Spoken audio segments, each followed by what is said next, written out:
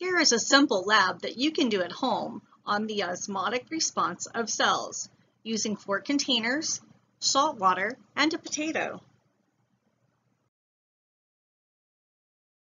To begin, label your four beakers or containers as follows, A, B, C. Now, add approximately 40 milliliters of 0% salt solution or just plain water, to add 40 milliliters of 1% salt solution to be add 40 milliliters of 2% salt solution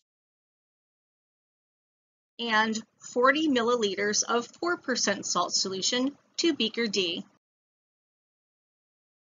Now, cut the skin off the top and bottom Use a cork borer to take out four core samples of the potato. Place an empty weigh boat or paper towel on a cooking scale. Make sure to hit tare to zero out the scale. Weigh each potato core separately. Don't forget to record your weight. Now, immerse the potato cores in the salt solutions for 30 minutes.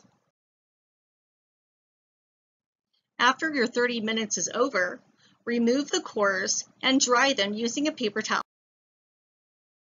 Now, you're going to weigh, weigh your cores again.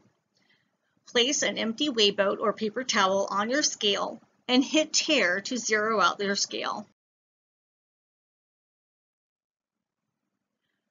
Make sure to record the final weight of each potato core. You should find that the potato cores placed in the 4% solution, which is a hypertonic solution, has lost weight. The membrane of the plant cell has pulled away from the cell wall due to water loss by osmosis.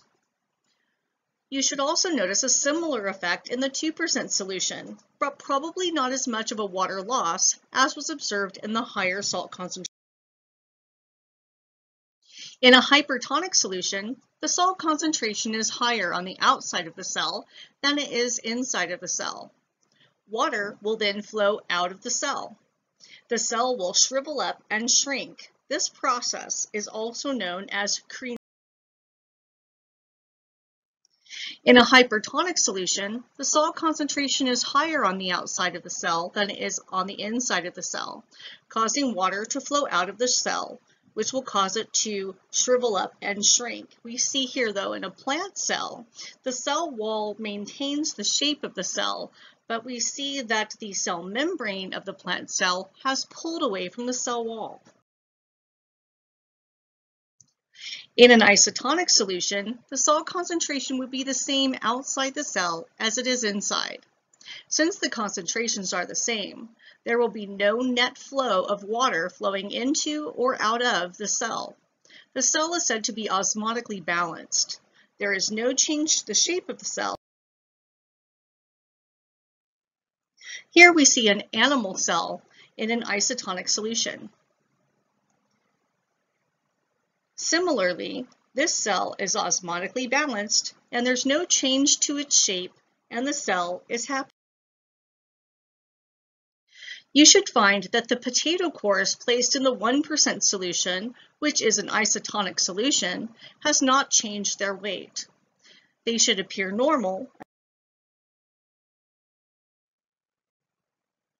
Let's now look at a plant cell in a hypotonic solution. In a hypotonic solution, the salt concentration would be lower on the outside of the cell than inside of the cell.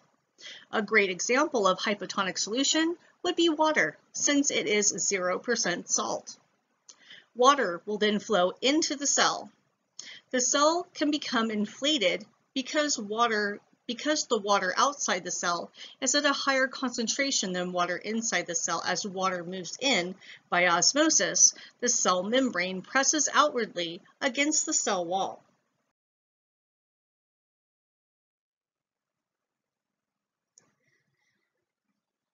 You should find that the potato cores placed in 0% solution have gained weight by taking on water through osmosis.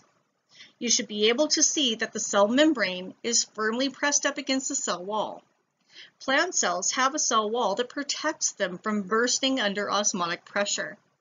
Keep in mind that animal cells do not.